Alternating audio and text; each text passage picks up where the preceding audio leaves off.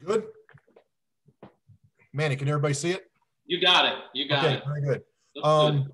one thing I did forget to mention is that this meeting is a trial for tonight because we didn't know how well it was going to go. And so this is probably why you hadn't seen it on our Facebook page, the website, or announced in the Nugget because we don't want to fall flat on our faces and invite a lot of people to come to it and then they're not going to come next program. So a little bit of uh, due diligence on our part here just to make sure we got our ducks in a row. But uh, everything seems to be going okay. And so um, this being the test bed, we'll probably open it up to the general public uh, for our next Zoom meeting and make an announcement in the Nugget for our program, whatever that might be. So without further ado, tonight's program, I had delivered this uh, in 2016 um, or early 2017. So it hasn't been that long ago, but we never recorded it. And I added a few slides and did, did a little bit more research on this. So it's an unknown or little known um, aspect about mining in Lumpkin County, and that was dealing with copper. But why copper?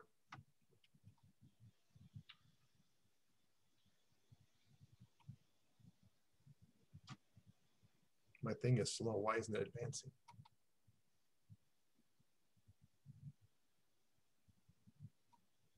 Hit the arrow thing. That's what I'm doing.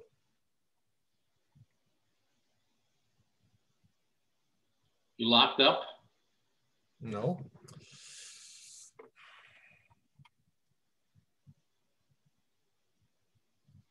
Let's stop screen sharing and for a second here and go back and open her back up again, see what happens.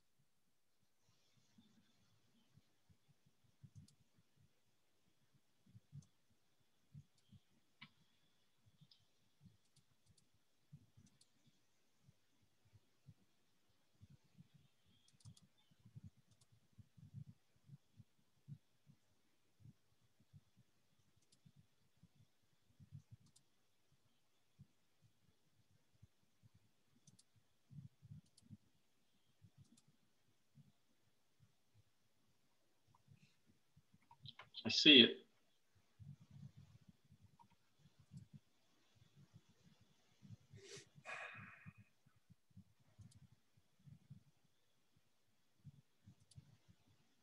It's always like this. It works perfect in practice, Yep. but in real situation, there's always a problem.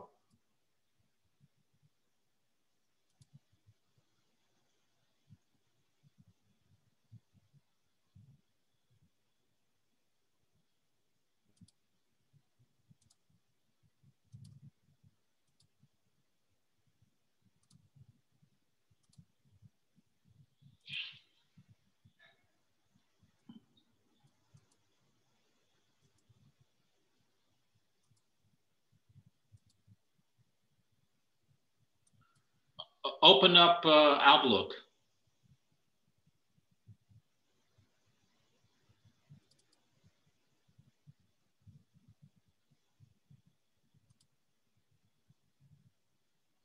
There you go.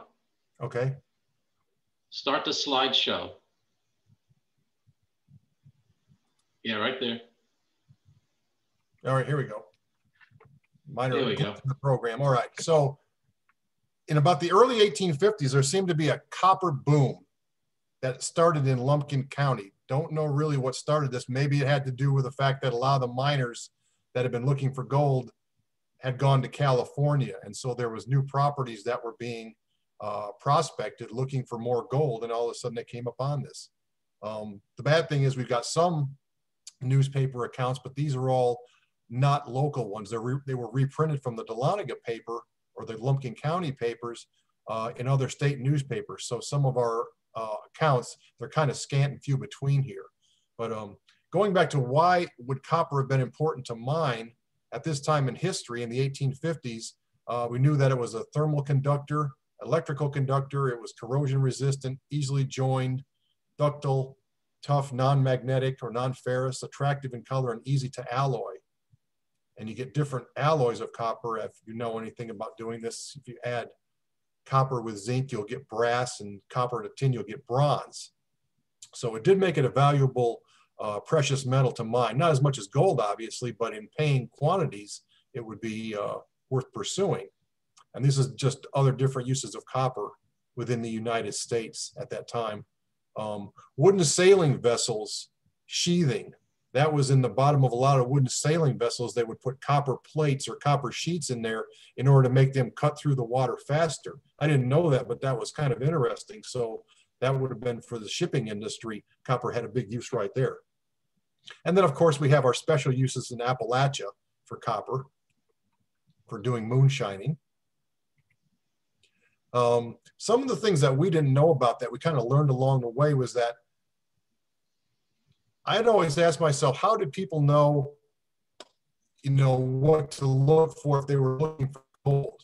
I mean, obviously, you know, over time it was kind of a tried and true method, but how would you know that there was copper or in some cases just any type of um, mineral ore bearing body somewhere in the area?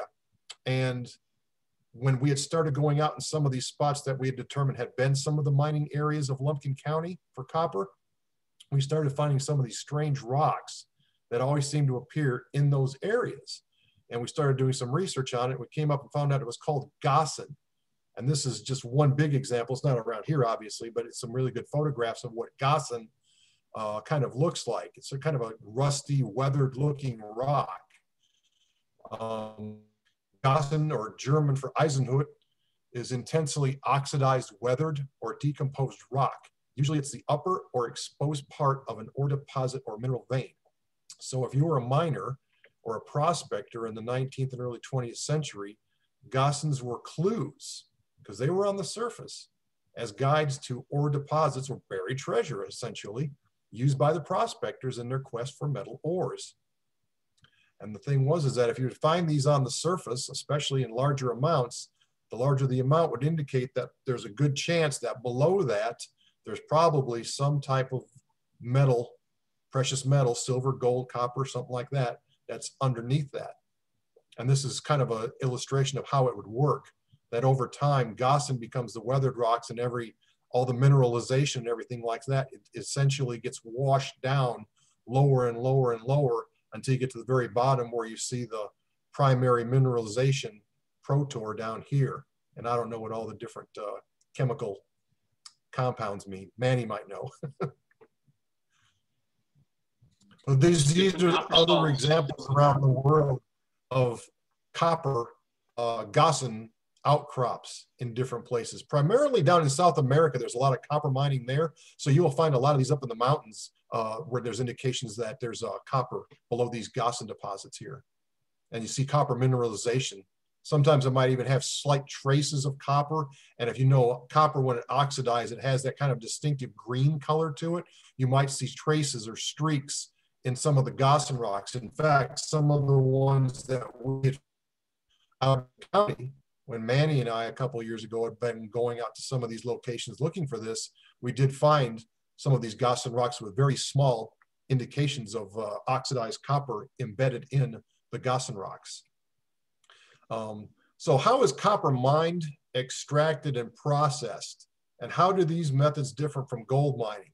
And I thought this was a question I didn't ask in my original program, but I thought it was interesting to ask today because if you were gold mining, how would you be able to transfer or extract the copper? Was it similar or was there a difference right there? And the thing that was different was that in copper mining, there was two basic uh, styles or types of mining that they would use. The first one was called open pit mining, which was a technique to extract copper that was on or near the surface. So if you find these Gossan rocks and you start pulling them away and start digging down, you might start finding in indications of copper.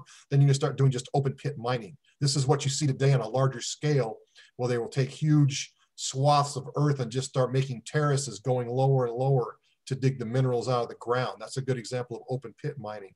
In our case, obviously, it wouldn't have been that large.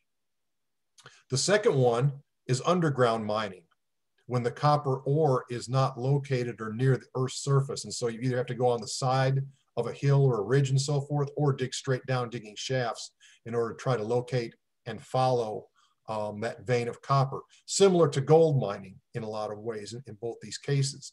Um, the difference now is that once you would get the copper, how do you extract it? Sometimes if you had big paying pieces of copper, it would be easy to extract that by using nothing more, maybe a hammer and a chisel in order to break it away from the uh, non copper bearing type rocks and then, you know, collect it like so.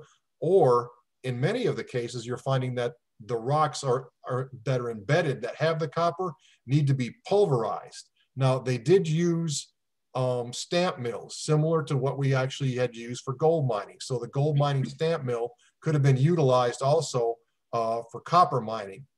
That's where it kind of stops. From there, there's a chemical process in order to extract the copper that would require them to have this ore bundled up in big barrels and sent someplace, maybe as far as Ducktown, Tennessee, in order to process this. Why? Because the chemical process to extract copper is different than what it is for the gold. And so they didn't have that here. And so I think ultimately this is going to be why we see the copper industry, it never really took off because they didn't have transportation as well as the uh, refining methods for that here. And so the, uh, the process or the cost was more than it was for to be gained from the uh, end result of copper. In 1850, this map of the United States at that time shows by the little red dots here in the states where copper had been found throughout the country at this time. And as you can see, it's kind of sparse. There wasn't a lot of copper mining that had taken place throughout the United States yet. Um, many people, if you're familiar with copper, may be familiar with the Upper Peninsula of Michigan, uh, up along the Keweenaw area. And that was a big area, still is, uh, for copper mining. There was a lot of copper that was being mined from that area. The thing that made it interesting was that it was right on the shores of Lake Superior, so you had no shortage of transportation by use of boats to transport that to other locations if you needed it to be smelted or refined. But in this case, they were able to do that right there. They have like huge mining operations that were going on up there. Obviously, around Pennsylvania, New York, and the other areas around the colonies, North Carolina, South Carolina, and into Tennessee, they had found um, other different deposits of copper here. But in Georgia, no. And it's interesting because if you notice, it looks like it kind of follows similar to the gold uh, belt that we have down here in Georgia. It runs kind of southeast to northwest where these copper locations have been discovered here. So it was just probably a matter of time in Georgia that someone would eventually discover copper in this area. This was a map that came out of the uh, survey for Georgia from 1919, and it shows the map of the pyrite deposits. Now, pyrite and copper typically are found closer, you know, within the same place of each other. And if you see here is Lumpkin County, and you'll notice that this pyrite or copper belt seems to run through White into Lumpkin, Dawson, heading down towards kind of peters out down here in Cherokee County doesn't seem to indicate too much after that. So this was already a time, 1919, when all this had been discovered. What's coincidental, or maybe not, is that it pretty much follows also your county, the gold belt through Georgia. They all run northeast to southwest, you know, in these streaks throughout the state as far as the gold does. And we go back to the copper, it's pretty much the same direction right there. So we're seeing that within Lumpkin County, it's no coincidence that the gold and the copper belts in some cases just overlap because they're both running the same direction right there.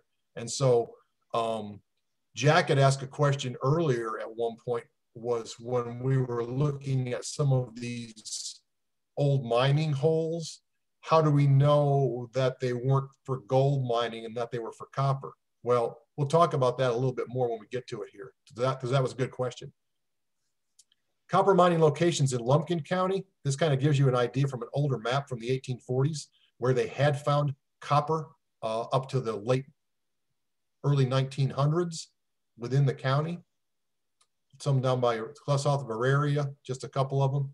Most of them were clustered around the Long Branch area, and then some out as far as uh, the Fannin, Union County, Lumpkin County uh, state uh, county line out there is just the breakdown some of the names of where they were located at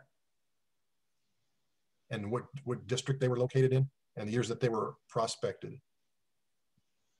This was the first mention that I had found of copper mining in the newspaper in Lumpkin County.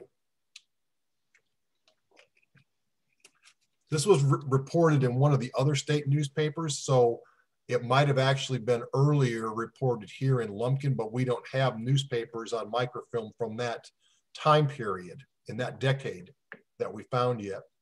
So it's actually good that we do have some. But uh, it just talks about the discoveries, and they always talk in these grandiose terms that the copper mines seem to have all the indications of being just as good as the Ducktown mines up in Dennis, Tennessee.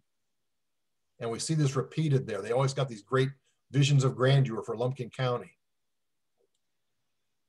Now, what's strange is that this was from August of 1853.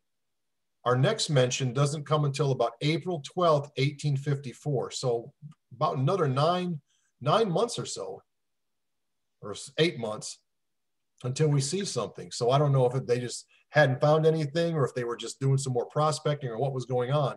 But now we start seeing gold and copper mines in Lumpkin that they're talking about this. And this is just coming from other news reporters who have been going traveling to the north part of the state there to report what was going on with different things. So everybody knew about the gold in Lumpkin County, obviously, but then they go on to start talking about copper mining. And we get down here, it says in relation to the copper mine region, the Mooresville, the Mooresville copper mine. I don't know if that re referred to the area that was up where the copper mine or the pyrite mine is located at now, but it was named after Mr. Moore, who was one of the owners of the area. So they called it the Mooresville copper mine. Some seven miles northeast from Dahlonega is evidently one of the most promising, or is one of the most promising character. This vein, which is finally developed, has within the past two weeks been principally leased and bought up by Misters Maurer, Stevenson and Company. I think it's supposed to be more Stevenson and Company, and are now making preparations to get out the ore on a large scale. Lumpkin County will stand among the first in point of mineral wealth. That was from a traveler's observation. Now we get into May of 1854, so about a month after that last report was mentioned. Tests for copper are exceedingly flattering, presenting indications as far as they have progressed equal, if not to superior, to the Ducktown mines once again. There remains no longer doubt as to the lead of copper passing through Lumpkin County. So you get the impression that they are finding that this is not just one isolated location, that there's an actual lead or that it, it falls within a certain uh, direction and area of the county here. May into June of 1854, we start getting more descriptions of these two mines. And we see two different mining companies here. One talks about Moore Stevenson and Company, and the other one talks about Welchel and Company, or, or a Welchel and Stevens, not Stevenson. So there's two separate and distinct mining companies that are kind of competing against each other. It goes on to say about, in this case, 18 feet of a tunnel upon a vein, and from every appearance bids fair to have to be of great width as the ore bank or vein or bank or vein seem quite firm. They talk about the color of it. The ore, when first struck, was what is termed gray oxide. It is now assumed a darker shade and is very rich, pronounced by those familiar with copper ore to be worth 40 to 50%. So if I'm understanding that as a layman would, that out of this ore they're getting, it's only about half of it is only bearing copper out of it there. So that's a lot of work. So if you're taking 50% of rock, you got to break down the other 50% to try to get some type of paying, you know, out of this right there. So it sounds like a lot of work. You're not getting a lot of return for it. So October of 1854 goes on to talk about more about um, the mine, but a large vein of first-class copper ore within six miles of Dahlonega, but it's so situated as to cost a great expenditure of money to secure it, that a shaft was sunk, but water and gas poured into it with such torrents as to render further efforts useless without a tunnel of considerable length. A narrow vein has also been discovered within two miles of Dahlonega, which is not likely to prove remunerative. Our correspondent states fair among the mountains was quite rough, except in the villages where it was usually very good. But you know, it was interesting because this was about the last mention of copper mining, essentially, that was mentioned in any of these newspapers in Lumpkin County. You know, I've searched all the other online newspapers where I'd found these other indications right there and tried different search phrases, um, but haven't found anything really after 1854. So it's like with the gold rush, it kind of, as soon as it was started, it was almost over. So within almost a year or so, it seems like things kind of petered out. Either they didn't find any more, or in the case of this uh, article, that uh, the water and gas got into the mine and they weren't able to pump it out. So they basically might have just had to abandon it. This was a map of land lot 109 that was known as the Boley Fields copper mines.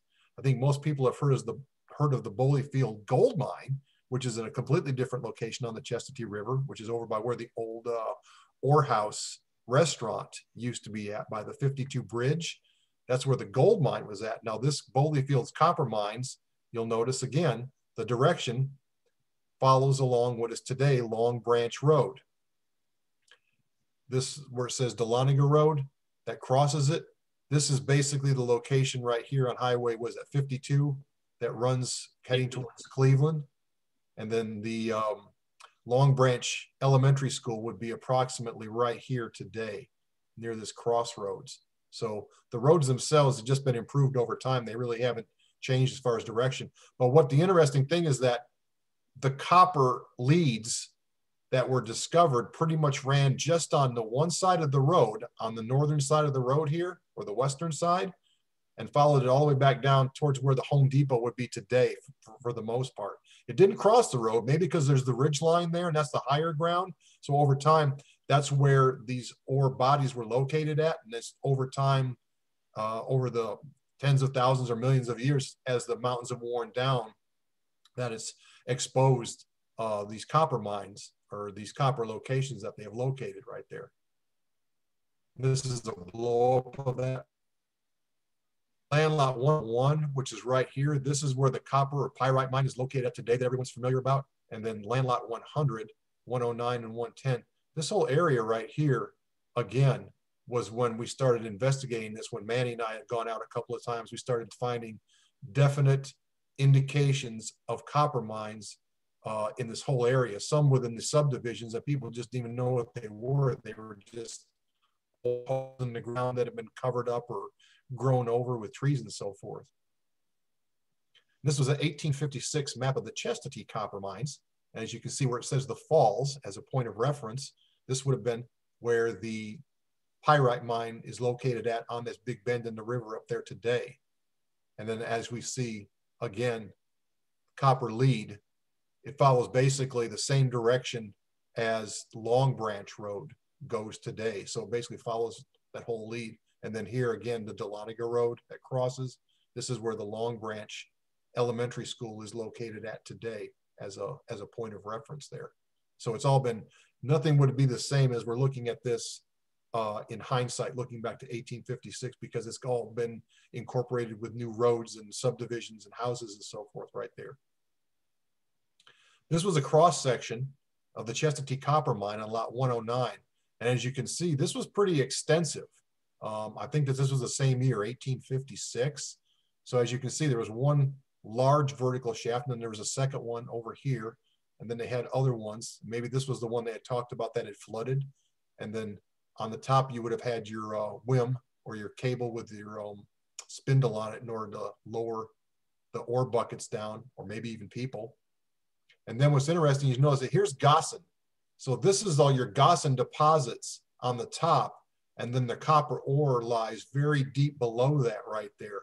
So as you can see, they would have to have gone through a lot of this Gossan to dig that out in order to actually get down to where the lode or the copper bearing ore was located at. So they would have had to go down pretty deep to, uh, to do that.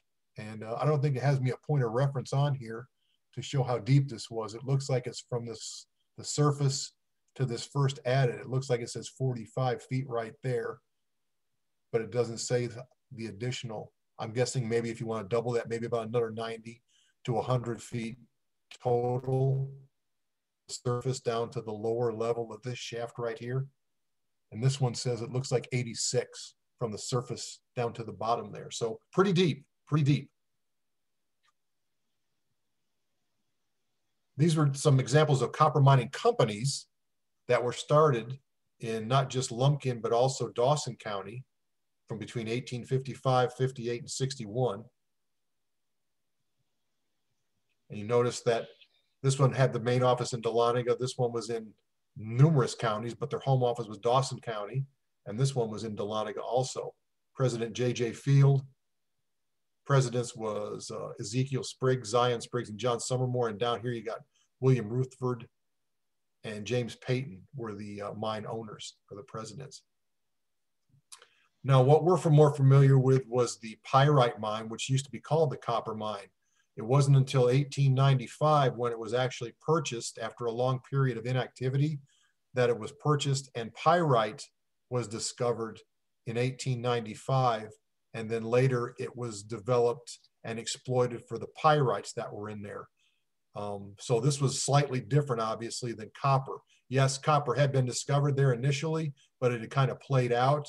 And so it wasn't until after this long period of time that it was purchased and pyrites were being mined there, mainly initially for fertilizer. But when they built this that you're seeing on the screen with the processing mill and the small spur line railroad, this was the war effort during World War One because pyrite was being used in the production of high explosives uh, for the war effort. And so it became a national strategic priority uh, to mine the pyrites. And these are some other photographs of uh, the pyrite mine when it was in operation. And then you got an underground uh, drill in order to drill holes in order for dynamite or to break that rock loose. It doesn't look like that today either. It's all been pretty much all shut up and torn apart. Remains of copper mining today. This was Manny uh, and uh, one of the members of Bragg. Who was that? Russ? Russell? Manny? That, went. that was Russ, yeah. yeah. yeah. We had gone out. This was off of um, Winding Stair Gap Road, way up on the county line with, I believe it was Fannin County. It was way up there. And the reason that we had gone up there, this was on December 12th of 2015, and we're still wearing short sleeve shirts. the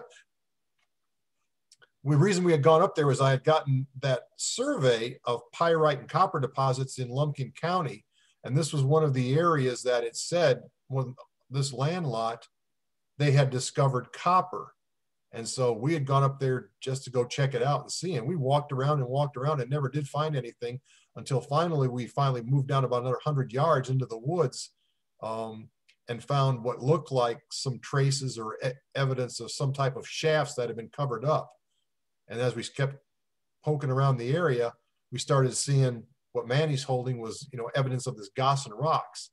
At that time, we didn't know what they were, but they were definitely unusual and they, they hadn't been placed there. They were like dug up out of these pits. So we knew somebody had some kind of man-made activity that was going there. So we thought we must be in the right area at least. This is how the maps would compare from the 1850s to today on where the copper mining locations would have been at these prospects. This was a blow up of the map. As you can see, here's Long Branch Road. And this is a map of today on where the different roads are in the subdivisions. The little green boxes that I indicated here are the places that uh, we had gone out to and investigated and found evidence that mining, or at least mining prospecting, had been going on. And there were still some Gossans out in this area today. We were literally walking around some of these people's backyards looking at these strange holes in the ground. This was one that we found, and where this photograph was taken, I was standing on the road looking down the hill, and Manny was checking out this pit that was kind of overgrown down there. And it, it, it actually isn't that deep. It just kind of looks like that from the photograph. But this was obviously what we had talked about earlier, one of the open pit mines that they had been finding some surface rocks. And the sad thing is that we can't see in hindsight what the miners would have saw because all that has been removed. So it's it's easy to speculate. Well, maybe there were some big Gossan rocks on the surface right there, which were their indicators, and that's what they went for. And they started digging down around that, and maybe they were getting some indications of copper, so they kept on digging, and then eventually it just kind of uh, didn't pan out for them. So they moved on to someplace else. But this wasn't the only hole that we located in this particular little subdivision area here. Here was another one where Manny was down at the bottom checking it out, but we didn't find anything. And then it's kind of hard to see, but where these trees had grown up at over the years, you can kind of see how it runs like almost like a trench in a way, this kind of a low ground that runs down here below this tree. So this was another not man-made that somebody had intentionally dug this out at some point uh, in years past. This was very fascinating because this was very, um, this was a man-made canal that has just been overgrown over all the years. And it was interesting because I knew this had to do something with mining, be it copper or gold mining, because just a little further down, you'll notice there was this rock man-made wall that has been had these stuff growing up, and you wouldn't even really notice it or give it a second glance unless you saw that there were these rocks that were stacked there intentionally and all moss covered and so forth. But this was located just a little bit further down here from where this little canal was at. So this was able to, for whatever reason they're using it for, water power to harness it or whatever, but it was to channel this water apparently into this one area. Maybe this is what they were using in order to help um, wash the rocks in order to separate the copper from the uh, from the overburden, essentially. Now, what came next was really scary because this was in a separate location as we kept going down and we found this almost 100 foot straight down shaft that was literally in this subdivision. There's no fence and nothing around it, just trees have grown over it. And you can walk right on it until you're right there and not see this hole right there. So I was very concerned that somebody would eventually fall down this thing and probably get killed because it's so deep. But you can see as looking down there that somebody had dug this straight down, obviously, and you can see where the rocks, where minerals were at along the sides as they were going deeper. So I'm of the opinion that maybe they were finding good indications of copper, which led them to keep going deeper and deeper and deeper until they just didn't find anything else anymore. And these are just some other photographs that we found around this area. Uh, more of the rock wall, another one of those pits that Manny had found. And this one, uh, which was really interesting, um, it's like a big holding tank made of concrete. This is 20th century, and it was just the, literally above the pyrite mine. And then there was also like a fire hydrant or a water release uh, further downhill from this, which was probably had something to do to releasing water in case there was a fire or something in the mine below that they could pump the water down, or maybe it was for hydraulic mining of some sorts, because we did find some type of uh, riveted pipe um, further down through the woods here, which made it interesting because it was really hard to get through and it's just been overgrown. So you kind of imagine this thing was probably about 60 feet in, in, in wide and it was all perfectly made of concrete. So it was just a big holding tank of some sort that had just been overgrown. Lastly, we had checked out some additional prospects going down Long Branch Road and where these little green arrows were located at. This was just south of uh, the Long Branch Elementary School. So we kind of trotted out into the woods one day and got to the top of the ridge line and kind of started going downhill. And then we ran across some other holes that were down there. And these were kind of dug into the side. And these, you know, they could be mistaken, like we talked about with Jack had asked if these were mines uh, or for copper or for gold. And, you know, it could go either way, I guess. But since copper mining was taking place in this specific area that we know of and not so much gold mining, it's probably leads to believe that some type of copper adits or uh, prospecting uh, holes that they were finding some kind of surface indications and just kind of like poking around and digging this out to look and see if there's anything deeper. It didn't look like it went any deeper. It was kind of filled in with a lot of trash and uh, leaves and surface debris. Manny tried to get in there and clean it out a little bit there and didn't find anything. Uh, I had my metal detector and found an old wagon hook uh, at the end of this little trench right there that had been born there cast iron, nothing fancy. This was kind of a larger view. And this was the top of the ridge line. So you can see how somebody was kind of like digging uphill looking for something here at some point. But these were all in close proximity. There was three or four within about a 50 yard radius of each other next to Long Branch Road up into the woods here. And here's another one that was kind of like fallen in not very deep either. And this kind of gives you a little bit more perspective as far as where this was located at, that it was filled in with a small shaft entrance right there. So as you can see, there was good evidence that at some point in time, copper mining was kind of hot, you know, even if it was a short period of time in the county. And these guys were really eager to get to it, but apparently it just didn't pay off in large quantities for it to be a uh, productive uh, long-term industry. So that's all I have. I hope everybody enjoyed that. And at this time, I'll take anyone's questions. Uh, hold on a second. Uh,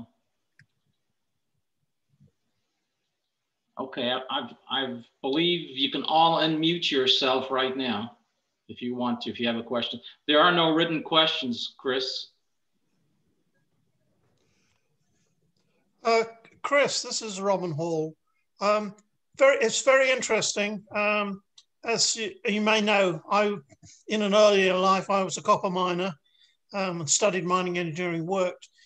The use of Gossan as a prospecting tool is, is interesting because old prospectors also used to use the vegetation around the copper Gossan as a, as a marker because particular plants seem to thrive on the copper content, um, which, which is an, was an interesting thing. And it showed that prospectors didn't even have to dig a hole in order to get some idea of what might be underneath.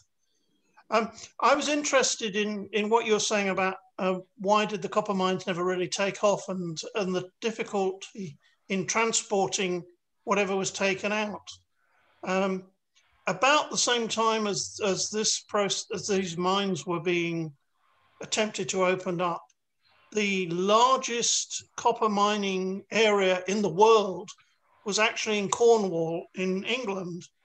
Um, and it was successful both because it had a lot of copper there, but also because there was sea transport available, which took the copper ore after it had been sorted rather than processed to get to try and increase the copper content um, to South Wales, where putting together the copper ore and coal from that area made smelting of copper the, a, a massive business. And in fact, export of, of copper from Wales at that stage was the largest source of copper in the world.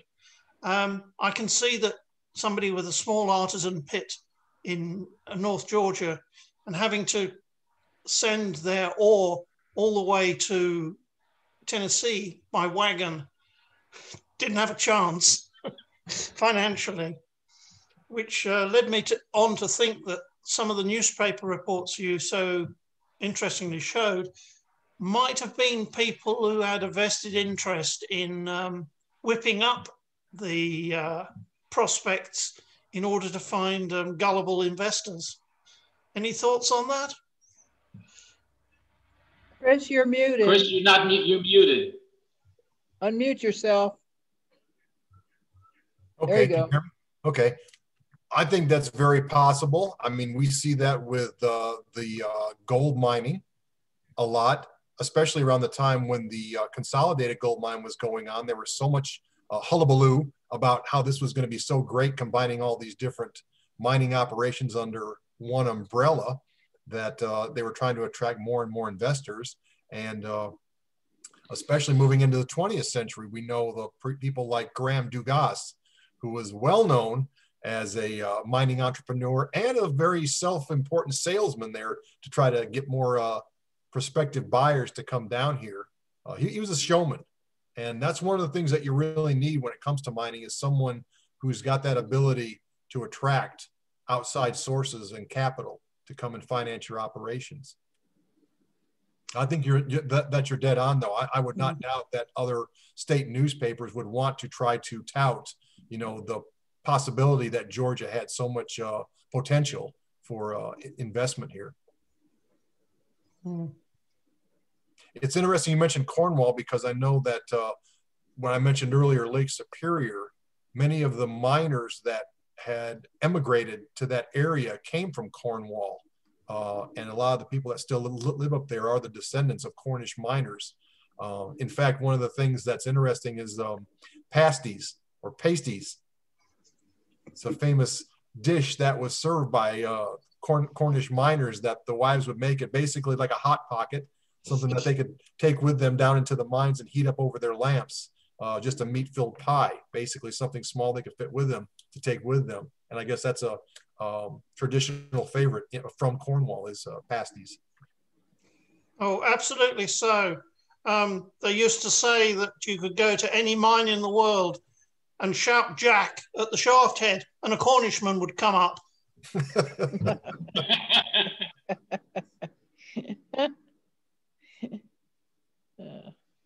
Any other questions, comments? Chris, this is Leonard Gay. Yes, sir. Um, I, it sounded like the uh, copper ore is in veins. Can you tell me what the parent rock is? No, that was the the difficult part because it didn't in these newspaper articles really get into discussion about that, and so it was really hard to try to figure out what we'd be looking for. If I wanted to look for any type of evidence of copper today, what rock was it embedded in?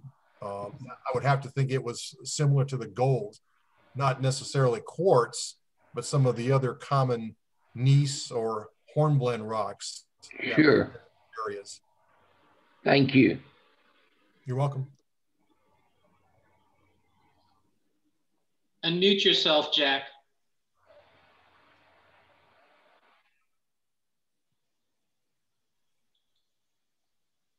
All right. Well, Jack. Jack has a question. You need to wait a. He has a question. Unmute yourself, Jack.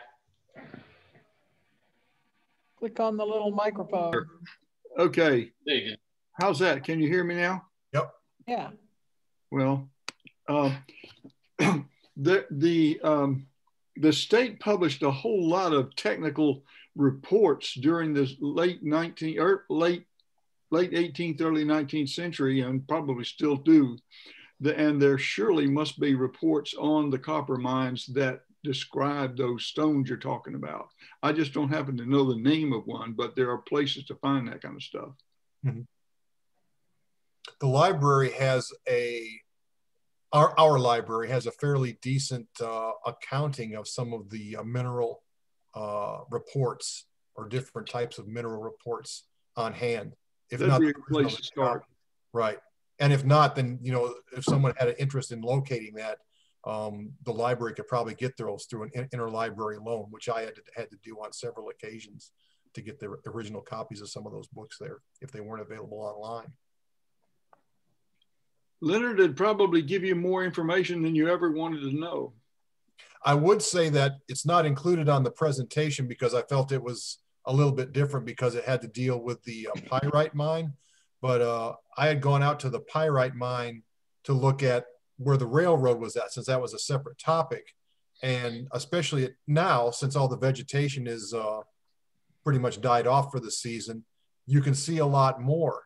And there are still huge, huge boulders of gossan around that area where the uh, processing plant was located uh, near the Chestatee River out there. So those little small fist-sized ones that Manny and I were were locating was nothing compared to what they've got up there by the pyrite mine. So that's probably why that area was the ground zero of sorts where the copper was at. That was probably the biggest lead of copper probably for the county uh, at one point or another, or maybe just over different you know years as they were working that. But as they got to a point that they couldn't get down any lower because the water filled into the tunnels. They didn't have the technology or the money uh, to pump that out. That's probably why they gave up on it right there. Since most of these operations were small, as Robin pointed out, they couldn't compete with somebody larger until they brought in the money, had the resources to do that. Leonard, you have to unmute yourself. Leonard, unmute yourself. Okay, I was saying I'm a bit interested in the rocks in the area, and as far as I know, uh, they're um, they're all very ancient, uh, metamorphic. Uh, I know the, the rocks exposures in my lawn are garnet schist, and um, you know, with lots of mica and that sort of thing. Um, and I, I don't know if the entire area is is characteristic uh, of that, but it's interesting. Chris? Thank you for your presentation. Thank you. Yes, thank Chris? you. Chris. Go ahead, go ahead. Yep. Chris? The- The Principes. Yes. I just wanted to say that was very interesting. That's our neighborhood that you uh, did on that Riverview Trail. So it was kind of interesting to see that. And I thank you for sharing. You always do great talks. Thanks a lot. Thank you. I hope that if you find any more interesting holes, be sure to take pictures of them because there were some other locations, I'm sure, Uh, along the area do. along Long Branch that there's probably a lot more that have not been documented. Maybe because people don't know what they are. They just have a hole in your yard. It's overgrown. It's like, oh, that's just some old hole. Or is this some, some some old gold mining? When in fact, it might be actually more evidence of copper mining that uh, we hadn't previously known about. I'll have to go exploring. Hey, Chris. Um, Yes. I, we have a number of uh, small pits around the area here, some on our land and some just outside. They're not very deep. They're maybe four or five feet deep and maybe, uh, you know, six to 10 feet around, more or less oval. And do you think that that's just random or do you think that that might be evidence of some kind of mining? I think it might be evidence of some kind of mining because a lot of times it might look random, but there might be like a method to the madness right there. So if they were like kind of like process of elimination, if you're digging in one spot and you have indications you're going to keep digging there, or if you don't find something, you go someplace local, you know, next to it right there. It sounds like somebody's kind of hunting around if they're fairly close to each other. How deep do you think that they would go before they'd give up? I would probably guess probably not more than uh, what we saw in some of those other photographs right there. Probably not more than maybe six to eight feet in some cases. Okay. Uh, my other question, not to hog all the time, but my other question is on our property itself too. We have a lot of white quartz here and uh, they're all probably about grapefruit size and they're just kind of scattered randomly all around. I picked them up to make little borders and stuff. Why do you Mhm. suppose the white quartz would be on the surface ch in chunks like that? It might have just been tailing piles from something, or um, it might have just been the location with a lot of from from a larger boulder that got broken up at some point there. Okay. It could be totally natural um, erosion over millennia. Uh, when we built our house up here in Porter Springs, uh, we had a hell of a lot of grading done and it went down deep, deep, deep. And there was clay and mixed up with the clay, which obviously had was um, not uh, anything that had been exposed to the air for possibly millions of years, who knows, um, were a lot of quartz, little quartz boulders, white quartz. Not, some of them weren't even Right. stained by the clay that they were in. And, you know, th- those were 20 feet underground, deep in, in moraine. Now, when you say uh, uh, boulders, how, how big do you think that they were? And were they more or less rounded or were they fractured? Um, they tended to be smooth edged, and I would say half the size of my head. Okay. Yes, my, my property is basically the same experience. When I built my house, I live on Halls Mill Road, wh- which is just uh, a little bit uh, away from uh, Walmart. Um, um, I had quartz all over the place. We picked up a lot of a lot of them, just like you did, to use as borders, and they were basically, you know, six to eight inches rounded uh, with little fractures on it, but but rounded. Um, I, I think that's natural. I think Robin is right. Ra- national, uh, natural erosion processes as the mountains wore away. Yet none of ours have uh, roundedness on them. They're all fragmented on all sides. They're more or less, and this is very roughly, more or less uh, squ- square blocks, but but very crude square blocks. I just wanted to echo that too. On our property, we have uh, 18 acres. We're just uh, on the right at, right below uh, 60 and uh, where 400 starts, like three miles from 400. And our, our 18 acres we have is it's covered in a quart size, you know, about that same similar size. and some of them bigger, some just exposed in the surface. And of course, when we graded and everything and cleared uh, for two houses there, um, we found you know all kinds of chunks of quartz. So it's it's very prevalent. Mm. Well, your your your property and mine are both in the gold belt, so that's the the kind of indication that. Right. We actually have a, a apparently a gold mine on our property. It was a one of the it was a Smith mine which I haven't done any more further investigation, but I know where it's at, and it's listed in the uh, in the uh, the tax records as a gold mine. They had cut it off from the rest of everybody else's property, uh, but it's it's part of ours now.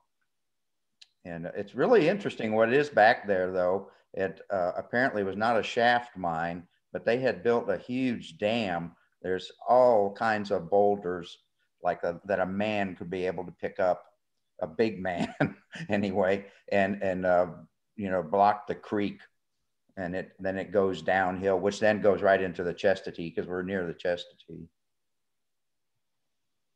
I I yeah. have um, gold mines on my property here, and but you're asking about the test. The, I have test pits dug, and they are, I'd say they're six to eight, maybe nine, ten feet deep. Um, and they dug the test pits. So they found if the test pits proved out that they had the right kind of ore, then they would dig the mines. And I've we've got three we've got three mines here. I've been in one of them, um, but it's uh, and I too have a lot of those white quartz rocks all over the property. I've got 17 acres, and uh, there's hundreds and hundreds of them. Right. But uh, the test pits, I've got four big test pits on the property, and um, you know the, and the test pits are relatively close to where the mines are. There are some, I, which I'm assuming is also test pits like that, but not right uh, in pros, close proximity of where the gold mine was. But they're they're probably about eight or ten feet across and maybe four or five feet deep. And they're very, I mean, it's just very unusual. Obviously, they're man-made because, uh, you know, trying to determine whether it was natural, and they certainly don't look natural. No, the, the, the test pits on my property, it's very obvious that they are uh-huh. actually man-made test pits. Yeah, there's no shortage of quartz and mining prospects throughout the county. You know, and I've been to a lot of these unused ones out there, and it's interesting, not just the location of the quartz, but the amount and different shades of it. There, some is really pretty. You find some locations where there's a large amount of a greenish colored quartz. And you go to another one, it's got kind of a rose or even some kind cases of purple uh, tint to some of the quartz around here. And that's just happens to be in that one small location right there. So it's uh, it's always fun to try to find the different kind of rocks that they have around here. Right. I've always been attracted to rocks. I started collecting rocks from everywhere I ever went as a child. I always took brought home a rock so I'm not quite sure what that says about me, but you, you, you missed out. You missed out on the uh, uh, archaeology club talk last night. The young lady there. who I was, speaker, I was there last night. She started off the same way you did. Yeah, and my I'm David Martin. I can't figure out how to get my last name up there on the uh, uh where on my little picture or whatever. Uh-huh. Uh, but anyway. I think I can. I'm not trying to hide my last name. you want me to fix it? You yeah. M A R T A N. Yes. Yes. Sir. T I N. T I N. Uh huh. There you go. Oh, there we go. Well, that was easy enough. yeah. If I if I can say one other thing about about the the big difference between copper mining and gold mining that was that probably had an impact here. Uh, copper, unlike gold, is not uh, is not something that will remain in a metal form. It it reacts fairly fast in, in geological terms um, as compared to gold, which is extremely stable. And so you get a lot of interesting minerals. Um, I'm just holding up here. I don't know how the colors come across. That's a piece of malachite, which is a copper, copper sulfate, copper carbonate blend um, and uses the gemstone. Hmm. Um, but if there were gold miners here who thought that they were going to get into copper mining and it would be the same, they were in for a, a big disappointment. because what comes out of the ground is not pieces of copper. It come, what comes out of the ground is, as that um, diagram that that we saw earlier from Chris, showing the different sort of minerals at different levels. That's what happens, and um, it's that's the one down down the. Uh, keep going. Um, it's it's the one showing the um, the the names of the minerals down the. That's it. Yep. That's it. That was it. Go back. Go back. One more. This one.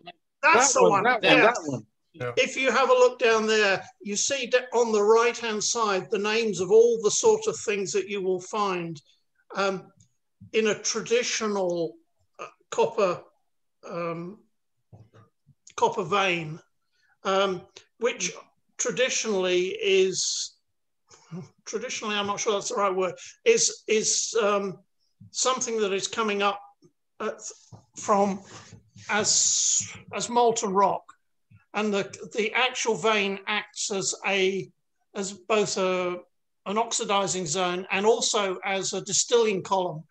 So you find the copper is mixed in at the top at the top end, and then as you go further down, you'll end up in in in tin and silver and gold, even deeper. But round here, most of the most of the gold mines are in fact not these veins, but are based on um, gold that has been washed into the rivers through oxidation of, of the material around it. Um, and so if you were going to go copper mining here, there's no point in getting in the river with a pan and hoping that you're going to find lots of lumps of copper because you're not that co any copper that comes out in, in native copper form at the top of the oxide zone will, over a period of just a couple of years, start to decay and, turn in, into green stuff. Um, um, like, like the malachite I showed you, which is the next one down. But interestingly, the last mineral that's mentioned at the bottom of that stack, um, chalcopyrite, um, is has a much better, is a much more widely known, not by its, its, its technical name, but that is what fool's gold is. So uh, there's some sort of message there uh, for, for gold miners in in in Dahlonega. Fool's gold is is um, really copper. That's right. Thank you, Robin. That was very interesting. I'll have to bring you around for our uh, special expert analysis next time. mining, I know, I used to know a lot about, but that's modern mining, but I've also taken an interest in the history. Very good. I'd like to thank everybody for coming to our program tonight. Um, we will have our next one on February the 11th. And still haven't come up with the actual program itself, but the date will not change. It will be Thursday, February 11th.